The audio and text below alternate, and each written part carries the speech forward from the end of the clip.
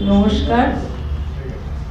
আমি বড়দের প্রণাম জানাচ্ছি ও ছোটদের বা আমার সমসাময়িক যারা, ওদের সবাইকে আমার আন্তরিক ভালোবাসা ও শুভেচ্ছা জানাচ্ছি। আমি এই বইটা মেনলি লিখেছি যে আমার গ্রাম বাংলার ছোট ছোট খেলোয়াড় ভাই বোনেরা যাতে এই বইটা পড়ে উপকৃত হয়।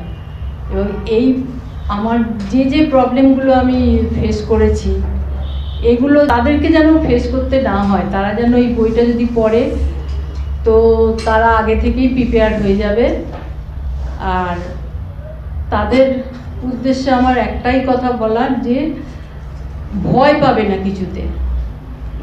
সাহসের সঙ্গে লড়ে যাও, দেখবে একদিন না একদিন সাফল্য আসবেই। তো আমার সবাইকে, সবাই যদি এই বইটা পড়ে এবং আমার ছোট ছোট খেলোয়াড় ভাই বোনেরা যদি পড়ে, এই বইটা পড়ে সামান্যতম উপকৃত হয়, তাহলে আমাদের এই পনেরো বছরের কষ্ট করে লেখার বইটার সার্থকতা লাভ করবে।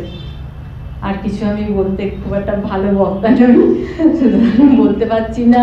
সবাই রূপকদা চিত্তদা অপুবাবু তরুণদা, সবাই তো বললেন। নমস্কার।